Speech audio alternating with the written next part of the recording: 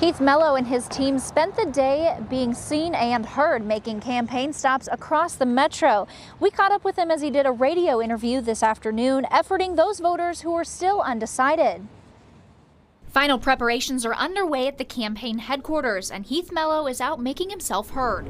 Come on in. Last minute endorsements, efforts to garner more votes. Mello says campaign signs have even become a hot topic, tweeting this.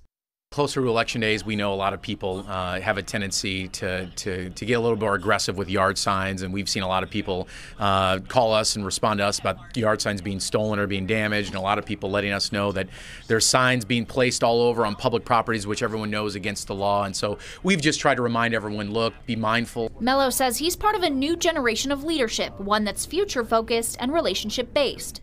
Senator Bernie Sanders and Maryland Governor Martin O'Malley both support Mello's forward thinking people who can bring in a different perspective, can bring more people to the table, and doesn't not only have a vision for the future, but really be able to, to bring people together to make that vision a reality. The former state senator says part of that mindset includes setting the city up for success in the long run. It really changes the leadership paradigm when you elect a mayor who literally lives like most people in the city in regards to just trying to just get by day by day.